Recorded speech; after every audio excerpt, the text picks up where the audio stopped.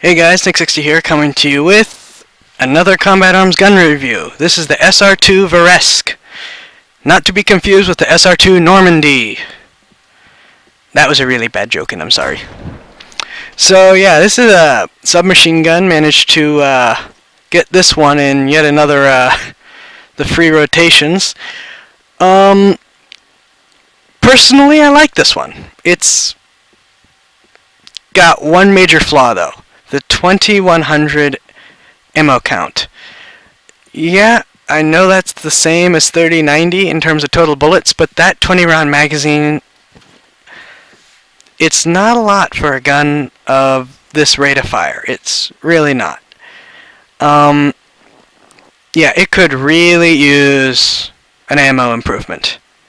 Other than that, though, I really like it. It's relatively small, so nice, fast, and light.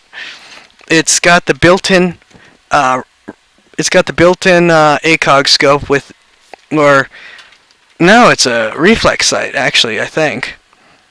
Uh, I'm gonna wait for a moment to see when I zoom in. It is an ACOG. I'm sorry about that. uh, that's embarrassing. No. Yes it's barely an ACOG. It's like a cross between a reflex sight and an ACOG. With the uh, flash assist, which doesn't really do you much good, unfortunately. But it does have the ammo and health count, which is a little useful. Especially with something with that low of a per magazine ammo count. If you get it, most definitely pick extended mags if you can. As a free gun rotation, I could didn't have that choice, so I ended up just having to use it stock, but I really like it. It's relatively accurate for a submachine gun, though you can see ammo reload.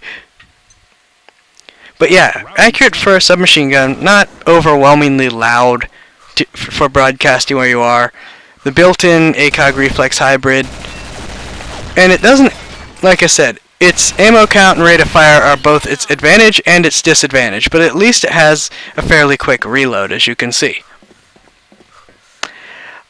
Um, not much else to say. I wouldn't use it on like Snow Valley unless I'm going to spend the entire time uh, underground. But otherwise, it's it's definitely close quarters, junk flea, Death Room, cold seed, if you're actually using other weapons with it, probably. The, uh, seems to have some penetration issues though with the almost penetra uh, almost uh, destructible or whatever you want to call it uh, sheets there. I, I just I could never understand why they did that in this game. I don't know. Um, not much else to say about this one, another short one.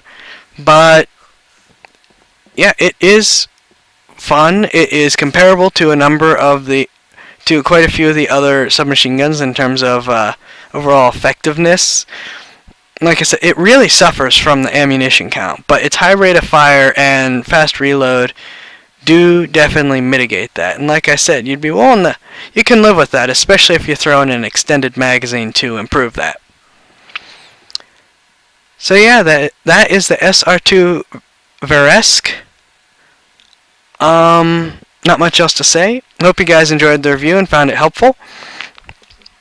Uh, if you liked the video and want to see more, feel free to check out my channel.